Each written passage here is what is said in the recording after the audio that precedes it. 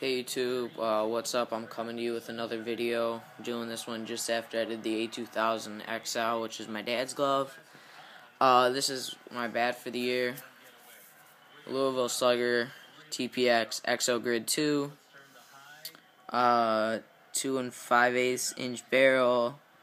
Model SL12EX25. Probably don't care.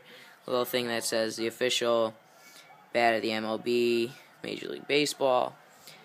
Yeah, it's got the USSSA 1.15 stamp with the little BPF that you have to have now on all bats.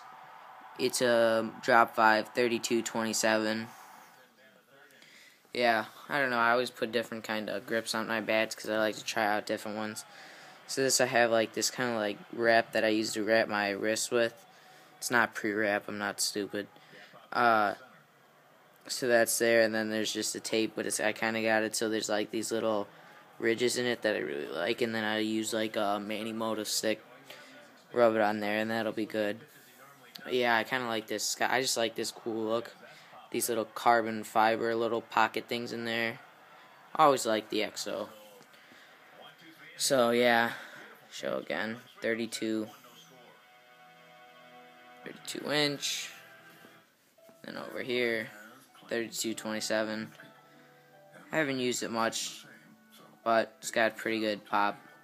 Like the bat, it's nice that it has the blue letters on it because that's my team color. So, yeah, it's a nice durable bat. I like it.